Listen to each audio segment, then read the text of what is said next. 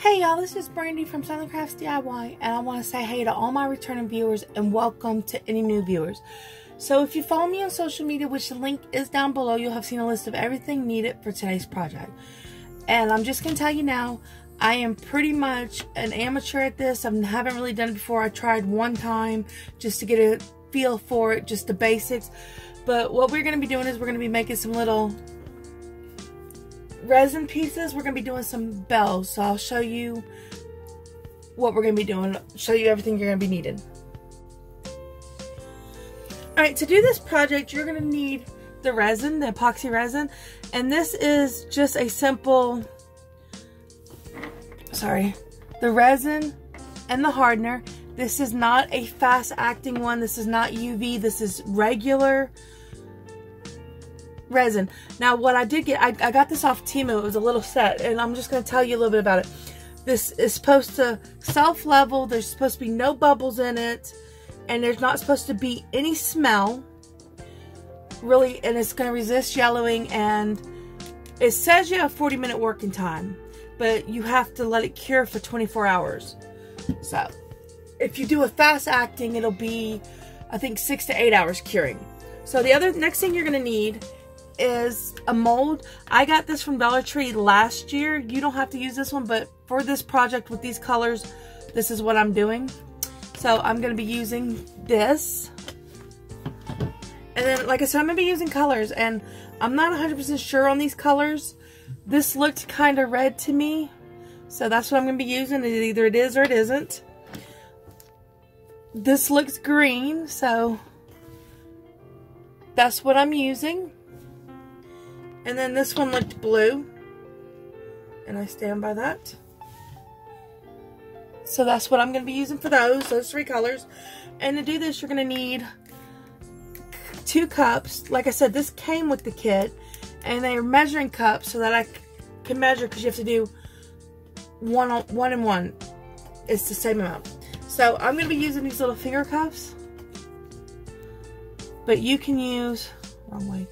You can use gloves. I just, I personally did not really like the gloves.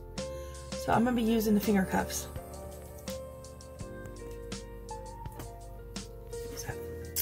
And then you're to want some sticks to stir the stuff with. And then a paintbrush to brush on the um, color. So let's get to it. Alright, so the first thing I'm to do is I'm to do the color. And I, I don't want to do the resin first because you have to wait.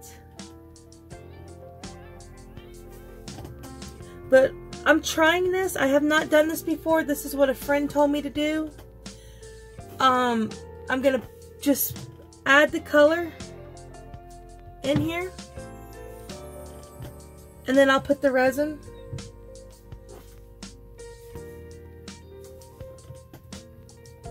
After. So. That's all we're going to be doing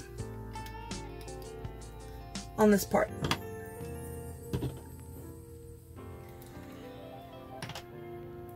This is a little more pink than red, but it's fine.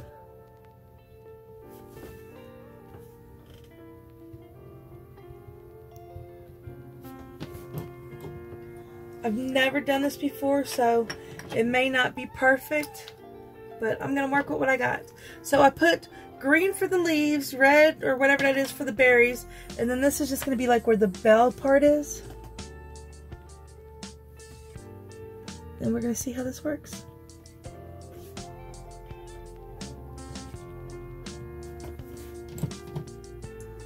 So that is all I'm doing for that step.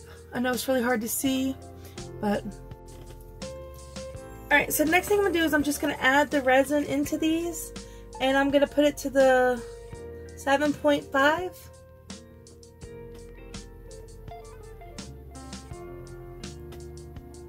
And the resin is very, actually I might do the 5.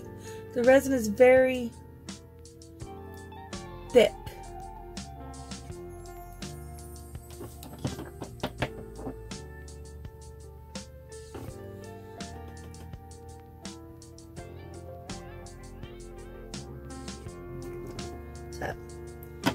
I did it to about, a, about the five, and I'm to put the other one, the hardener in the other one, also to a five. You have to do the same amount for both.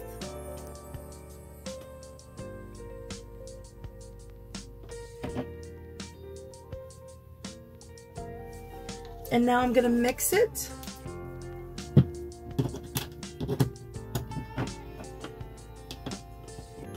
I'm to mix it for just a little while, just a couple minutes.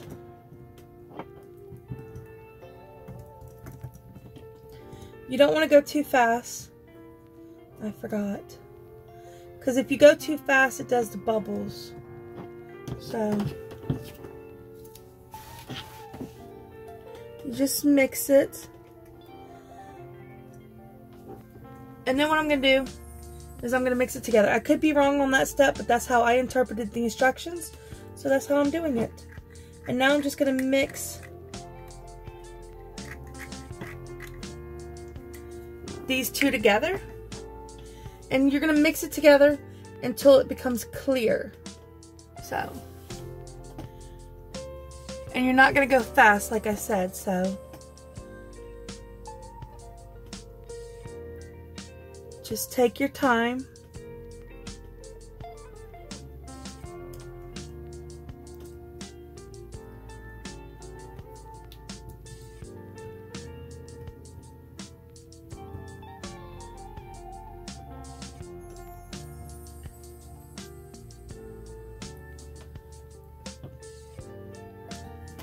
So, I was really, really interested in doing this, and I must say again, I'm still new at this, so I don't know if I'm doing it 100% right.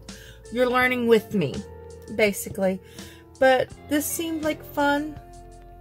Alright, so now that that's done, what we're going to do is we're going to take and we're going to pour it into the mold.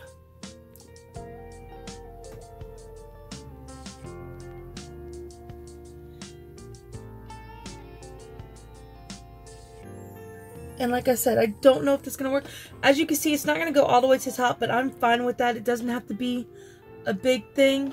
But we will see if this works out the way she said it would. I don't know. I've never done this before. I've only done it without color. So you have to let that set for 24 hours. We will come back tomorrow and see what it looks like. I'll even show you how to do it without color. I don't know what happened, but it has not set. I did not have this problem when I did it last time. I'm going to just keep letting it work and we'll see where we are. But I will go ahead and show you another example without the color. This little mermaid I did. I absolutely love how it came out. I think it looks amazing and all I did was add the mixture to a mold but I think it might be something to do with this particular mold. So I will not be doing it again. As you can see it is really flexible and is not coming out. Oh wait I might be able to get out. Hold on. It's flexible though. Yep it is really flexible. There it is. I'm gonna let it sit and see if I can get it to firm up. I don't know what happened. I'm slightly disappointed, but that's what it looks like. The color didn't work either the way I thought it would. I mean, you can see the color in there. It's just I didn't get enough of it, I think. But that is it for today's project. I'm disappointed, but you know, I'm still new at this whole resin stuff. But like I said, this one was actually a resin mold, and I love how it came out. And I'm actually going to play around with color with this and see if I can get it to work. But anyways, if you like this video, please, please, please like, share, subscribe, and comment down below because it does help my channel to grow. And I will see y'all next time. Bye!